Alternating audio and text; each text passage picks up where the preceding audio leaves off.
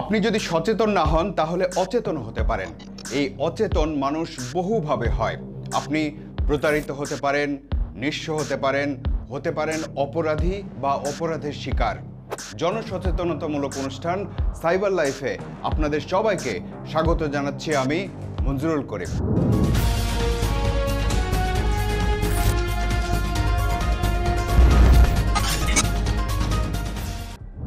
Cyber জগতে আপনার জন্য অদৃশ্য সব জাল পাতা আছে। আপনি কখন যে কোন জালে পা দেবেন আর আপনার পা আটকে যাবে বুঝতেই পারবেন না। কারণ সেই জালগুলো হয়তো আপনি আপনার হাতের মুঠোতেই ধরে রাখেন। সাইবার লাইফের এবারের বিষয়, অনলাইন জুয়া। ষোলো মার্চ দু হাজার বাইশ ঢাকা মেট্রোপলিটন পুলিশের মিডিয়া সেন্টারে সাংবাদিকদের বিশেষ এক খবর দেওয়ার জন্য হাজির হয়েছেন গোয়েন্দা পুলিশের ঊর্ধ্বতন কর্মকর্তারা। ক্লুলেস একটি হত্যাকাণ্ডের রহস্য উদ্ঘাটন এবং আসামি গ্রেপ্তার সংক্রান্তে আজকের এই মিডিয়া ব্রিফিং হচ্ছে। এই টেবিলে রাখা জিনিসপত্রের দিকে নজর দিন। ছয়শো টাকা একটা ছেঁড়া মানি ব্যাগ একটা মোবাইল ফোন অল্প কিছু স্বর্ণালঙ্কার আর একটা ছুরি। এই ব্যক্তির নাম হৃদয় ব্যাপারী। কীভাবে আমার মাথায় আসলো? মানুষের টাকার প্রতি লোভ। গোয়েন্দা পুলিশের গুলশান বিভাগের উপকমিশনার মশিউর রহমান। আসলে এটা আমাদের জন্য অত্যন্ত পেইনফুল একটা ইনভেস্টিগেশন ছিল। ইনভেস্টিগেশন করতে গিয়ে খুনি লোকটার হতদরিদ্র স্ত্রী এবং তার সন্তানদেরকে দেখে অভুক্ত অনাহারী অপুষ্টির অবস্থা দেখে আমরা আমাদের কাছ থেকে সামান্য কিছু আর্থিক সহযোগিতাও দিয়ে আসি। এই কয়েকটি ছোট ছোট ঘটনার মধ্যে লোভ, বাজি, বিশ্বাসঘাতকতা আর নৃশংস হত্যাকাণ্ডের ঘটনা আছে। সবগুলো ডটকে কানেক্ট করলে একটা গুরুত্বপূর্ণ জায়গায় আছে অনলাইন জুয়ার বিষয়টি। এই ঘটনা সম্পর্কে বিস্তারিত অবশ্যই জানব আমরা, তবে তার আগে আমাদের কাছে পাঠানো আপনাদের কিছু তথ্য জেনে আসে। মোহাম্মদ আওলাদ হোসেন লিখেছেন, খুলনা জেলা পাইকগাছা উপজেলার গজালিয়া গ্রামে ওয়ান এক্স বেট খেলায় ব্যস্ত আছে সত্তর শতাংশ মানুষ। এই ওয়ান এক্স বেটের এজেন্টের বাড়িও একই গ্রামে। গ্রামের সহজ সরল মানুষগুলোর আজ অসহায়ের মতো অবস্থা। পারলে আমার পরিচয় গোপন রেখে কিছু করেন। সাইদুর রহমান বলছেন, one X bet bet three sixty five, most bet online casino দ্রুত বন্ধ করা উচিত। গ্রামের ছেলেরাও এতে আসক্ত হয়ে পড়েছে। বিমল রায় লিখেছেন, ভাই জিতুইন নামক এই অ্যাপের ব্যাপারে কিছু প্রতিবেদন তুলে ধরুন। প্রতিদিন লক্ষ লক্ষ টাকার লেনদেন হয় এর এজেন্টগুলোর মাধ্যমে, যার ফলে কোটি কোটি টাকা বাইরে পাচার হচ্ছে। খুলনা থেকে আব্দুর রহমান বলছেন, খুলনার বয়রা এলাকাতে ওয়ান এক্স বেড সহ বিভিন্ন ধরনের অনলাইন জুয়া খেলায় মানুষ আসক্ত। খুলনা শহরে হু হু করে ব্যবহারকারীর সংখ্যা বাড়ছে। আবাল থেকে বৃদ্ধ, ছাত্র থেকে ব্যবসায়ী, সবাই অনলাইন জুয়া খেলছে। নীলফামারী জেলার সৈয়দপুর উপজেলার দশ নম্বর ওয়ার্ড থেকে শাহরিয়ার লিখেছেন, ইন্ডিয়ান অনলাইন গেমের এজেন্ট রাস্তার পাশে বসে পুরো এলাকা নষ্ট করছে। পুলিশ এসে প্রতিদিন টাকা নিয়ে যায়। রিক্সাওয়ালা থেকে স্টুডেন্ট সবাই আসক্ত। ওয়ার্ড মেম্বারও কমিশন খায়। একই অবস্থা নীলফামারী সদরের জাদুরহাট এলাকাতেও। নাম পরিচয় প্রকাশ না করার অনুরোধ করে আরেকজন বলেছেন, আমার গল্পটা আনুমানিক দুই হাজার সতেরো সাল থেকে শুরু। প্রথম শুরু করে এলাকার বিভিন্ন ধরনের শিক্ষিত বেকার যুবক। বেটিংটা বিভিন্ন ধরনের খেলার উপর তারা করে থাকতো, যেমন ক্রিকেট, ফুটবল, টেবিল টেনিস। কিছুদিন পর এলাকার প্রত্যেক যুবক এই বেটিং জগতের সাথে জড়িয়ে পড়ে এবং এদের মধ্যে অনেকেই ছিল, দিন আনে, দিন খায়। বিশেষ করে যদি আমি একজনের কথা বলি, তিনি চাকরি করে। চাকরি করে অবস্থায় আনুমানিক দশ লক্ষ টাকা। মুনাফা ভিত্তিক যে টাকা দেওয়া দেওয়া নেওয়া হয়, সেই টাকায় তিনি জড়িত হয়ে যায়, অর্থাৎ সুদ নিয়ে থাকেন। এভাবে তার জীবন নষ্ট হয়। এভাবে তারা অনেক টাকা অংশের কাছ থেকে লোন নেয়। এক পর্যায়ে অনেক টাকার ধার ঋণ হওয়ার মাধ্যমে তারা এলাকা ছাড়ে। এভাবে এলাকা চলতেছে। এরকম তথ্য আমরা দেশের আরও বহু জায়গা থেকেই পেয়েছি। সিলেট থেকে এক ব্যক্তি প্রায় মরিয়া হয়ে বারবার আমাদের কাছে ভয়েস মেসেজ পাঠিয়েছেন।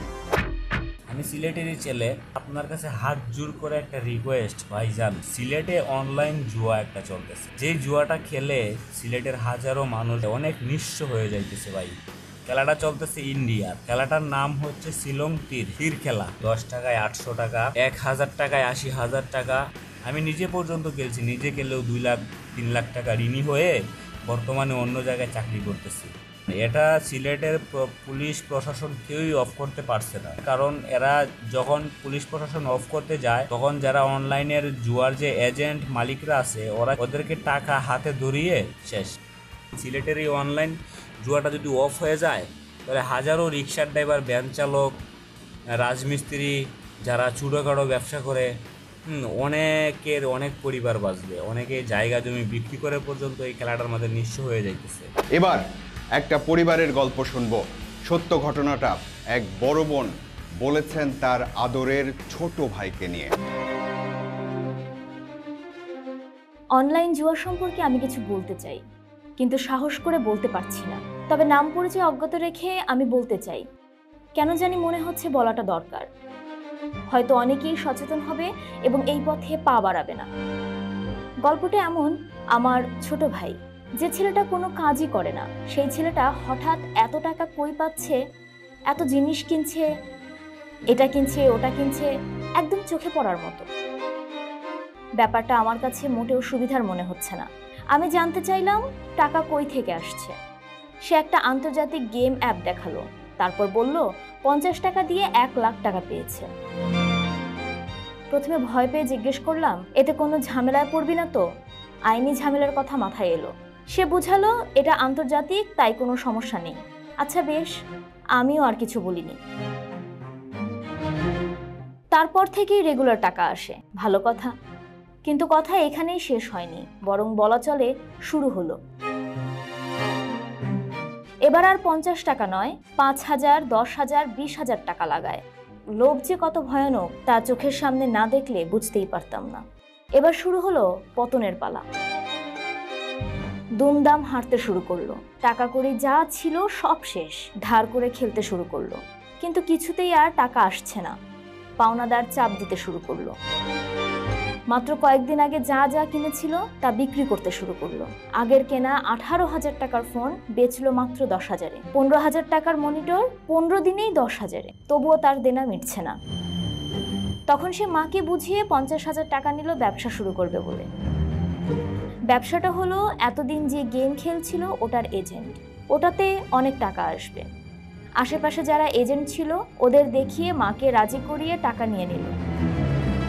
তারপর একজনের সাথে যোগাযোগ করল যাতে ওকে এজেন্ট করে দেয়। লোকটি এজেন্ট করে দেবে বলে কথা দেয়। তখন ভাই তাকে পঞ্চাশ হাজার টাকা বিকাশ করে পাঠিয়ে দেয়। টাকা পাঠানোর কিছুক্ষণ পর আর তাকে ফোনে পাচ্ছে না। বাড়ি থেকে টাকা নিয়ে সেই টাকা দিয়ে প্রতারকের খপ্পরে পড়ল। আবার পাওনাদারের টাকাও দিতে পারছে না। এখন সে সহ আমরা সবাই মানসিক যন্ত্রণায় ভুগছি। লোভ থেকে নেশা নেশা থেকে নিঃস্ব। লোভ থেকে নেশা নেশা থেকে নিঃস্ব। এই পর্বের শুরুতেই আপনারা কিছু টুকরো ঘটনা দেখেছিলেন। এবার পুরো ঘটনায় যেতে চাই। ষোলো মার্চ, গোয়েন্দা পুলিশ যে ব্রিফিং করছিলেন, তার আগের ঘটনা। তেরো মার্চ রাজধানীর মধ্যবাড্ডার গুদারাঘাট এলাকায় আফরোজা নামে একজন নারীকে হত্যা করার খবর পায় গোয়েন্দা পুলিশ। হত্যাকারী হিসেবে প্রাথমিকভাবে সন্দেহের তীর যায় ওই নিহত নারীর স্বামী আর তার ব্যক্তিগত গাড়ি চালকের দিকে। ঘটনাস্থলে তথ্য উপাত্ত ও আশেপাশের এলাকার সিসি ক্যামেরার ফুটেজ বিশ্লেষণ করতে থাকে গোয়েন্দা পুলিশ। তার মধ্যেই গাড়ি চালক হৃদয় ব্যাপারী মুখ খোলে। আমি বেশ কয়েকদিন ধরে একটু অভাবে ছিলাম। অবলার ধারণায় আমি কিছু জুয়াতে লিপ্ত হয়েছিলাম। আমার ম্যাডামের থেকে পারাই, স্যার দুই তিন হাজার করে হালাত করে, আবার দিয়ে দিই। তো ওদিনকে আমার অনেক টাকা পয়সা দরকার ছিল, স্যার। এই জন্যই মানে কাজটা হয়ে গেছে, স্যার। ড্রয়ার খুলছি, কিছু সয়নাগাটি ছিল। ওইটা নিয়েই আর কি তাড়াতাড়ি করে বেড়ে চলে আসছি। গোয়েন্দা পুলিশের তদন্তকারী দলটি আরও তথ্য উপাত্ত সংগ্রহ করতে হৃদয় ব্যাপারীকে নিয়ে মাঠে নামে। আফরোজার কাছ থেকে পাওয়া কিছু সোনার গহনা এখানেই লুকিয়ে রেখেছে হৃদয় ব্যাপারী।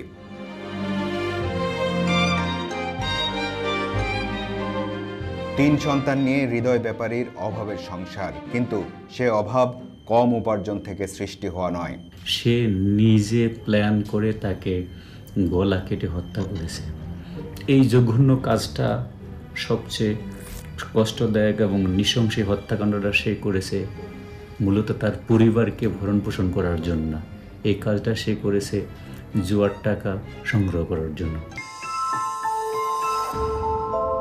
আরও ছয় বছর আগে থেকে আফরোজার গাড়ি চালক হিসেবে কাজ করে হৃদয় ব্যাপারী মাস ছয়েক আগে বিয়ে করেন আফরোজা।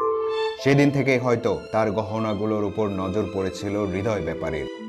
আশা করছিলাম উনি তো ভয় পাওয়ার লোক না স্যার।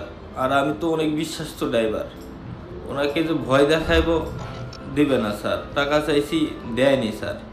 আমি ভাবছিলাম ওনাকে তাইলে মেরে পনেরো ষোলো ভরি গয়না ছিল ওইটা নিয়ে পালায় যাওয়ার প্ল্যান ছিল স্যার। কিন্তু পাইনি স্যার। লোভের কাছে বিশ্বস্ততার পরাজয়। তারপর জুয়ায় আসক্তি সেই লোভকে হিংস্রতায় পরিণত করতে উস্কে দিয়েছিল। এই জুয়াটা, অনলাইনে জুয়াটা অনেকেই খেলেছে আমার একজন অনলাইনে এই করে দিছে যে, যদি মানুষের কাছে হালাত না চাইয়া এক হাজার, দুই হাজার টাকা এখানেই কইরা তুই এখান থেকে কামাইতে পারবি। একটা থ্রি সিক্সটি ফাইভ একটা বেড বলে, সেই বেডে আর কি স্যার নিজের পরিচয় পত্র সব কিছু দিতে হয়। তারপরে ওনাদের সাথে ইমুতে কন্ট্যাক্ট করতে হয়। কন্ট্যাক্ট করার পরে ওনাদের নাম্বার চাইলে নাম্বার দেয়, ওনারা ওই আইডিতে ডলার দিয়ে দেয়। এবং দুই হাজার টাকা বাড়াইলে দুই হাজার টাকা ডলার দিয়ে দেয়। দেওয়ার পরে আপনি খেলতে হয়। আমার মোবাইল তো নাই, আমি অন্যর মোবাইলে আর কি বলতাম যে এক হাজার টাকা ই করে ই করে দাও, লাগাই দাও, এরকম বলতাম আর কি। আমি পর্যন্ত লাভ করিনি লসই করছি এই জন্য আমার এই পরিস্থিতি। এই- হৃদয় ব্যাপারে তার একজন স্ত্রী আছেন। তার বয়সও পঁচিশ ছাব্বিশ বছর। এই মহিলা একটা অনিশ্চিত জীবনের মধ্যে পড়ে যান। তার ছয় মাসের দুইটা যমজ ছেলে আছে এবং বারো তেরো বছর আরেকটা ছেলে আছে। এই ছেলেগুলো কি পড়ালেখা করবে, কি খাবে, কীভাবে ভারী বাড়ি বেড়া দিতে যাবে। একটা পর্যায়ে তারাও জীবন ধারণের জন্য অপরাধে পড়তে যাবে।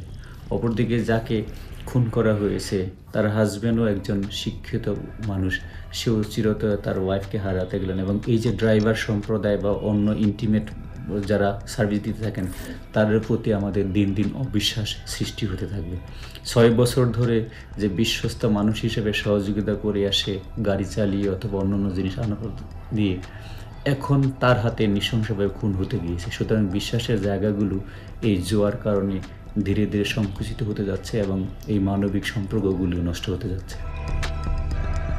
একবার চিন্তা করুন কতটুকু বিশ্বস্ততা তৈরি হলে একজন গাড়ি চালক ছয় বছর ধরে একই জায়গায় কাজ করতে পারে? আমি আর বুঝিনি যে এই খেলায় আমার পুরো লাইফটাই লস্ট হয়ে যাবে। আমার ফ্যামিলির মধ্যে কেউ দেখার মতো কেউ নাই, স্যার। আমার বউ, তিনটা বাচ্চা, স্যার। তাদেরকে দেখার মতো কেউ নাই, স্যার। আমিও নিজেও শেষ হলাম আমার ম্যাডামকেও মারলাম, আমার পরিবারকেও মারলাম। সব দিকে আমি শেষ জুয়া মানুষকে ধ্বংসের পথে যায় অনলাইন অথবা অফলাইন এই জুয়া খেলতে গিয়ে দুই চারজন মানুষ অথবা সাময়িকভাবে জিতেন। কিন্তু দেশের বাইরে থেকে যে সমস্ত মারোয়ারিরা বা জুয়াচোররা এই খেলাগুলিকে কন্ট্রোল করে, ওনারাই সব টাকাগুলো জিতে নেন। প্রথম দুই একবার একজন গ্রাহককে বা একজন জুয়ারিকে প্রলুব্ধ করার জন্য জিতিয়ে দেন বাদ বাকি টাকাগুলো তারা নিজেরা নিয়ে যায়। তাদের এই জন্য আমরা দেশবাসীকে অনুরোধ করি, আজকে যেই হৃদয় ব্যাপারী হত্যাকাণ্ডের জন্য ধরা হল, ধরা পড়ল, তার পরিবার দীর্ঘদিনের জন্য এই বাপকে হারাবে, সন্তানকে হারাবে হাজব্যান্ডকে হারাবে। অপরদিকে জুয়ার টাকার জন্য হৃদয় ব্যাপারী যাকে খুন করল, সারা জীবনের জন্য পৃথিবী থেকে সে ডিলিটেড হয়ে গেল।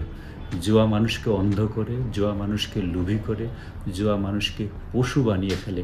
এই জন্য আমরা অনুরোধ জানাব, অফলাইন, অনলাইন কোনো জুয়া খেলতে যাবেন না। জুয়া খেললে আপনি মানসিক ভারসাম্য হারাবেন, আপনি মনুষ্যত্ব হারাবেন, আপনার পরিবারকে হারাবেন, সমাজ হারাবেন এবং আপনি স্থায়ীভাবে একজন অপরাধী হয়ে যাবেন। আগেই বলেছি, এটি লোভ, বাজি বিশ্বাসঘাতকতা এবং নৃশংস হত্যাকাণ্ডের নির্মম গল্প। আমরা এমন ভয়ঙ্কর অপরাধের গল্প আপনাদেরকে বলেছি, শুধু একটি অপরাধ বিষয়ক অনুষ্ঠান তৈরি করার জন্য নয়, বরং আপনাকে এবং আপনাদেরকে সচেতন করার জন্য। শুধু দু একটি এমন ঘটনা তুলে ধরার মধ্যে দিয়েই অনলাইন জোয়ার প্রভাবের বিস্তারিত আপনাদেরকে বোঝানো সম্ভব নয়।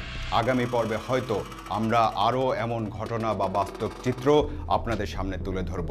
আপনি এবং আপনার পরিবারের কেউ এমন ঘটনা বা গল্পের চরিত্র হয়ে ওঠার আগেই সচেতন হন। ভালো থাকুন। সন্ধানে অনুসন্ধানে, ভালো লাগায় ভালোবাসায়, আলোচনায় সমালোচনায় সাথে থাকুন।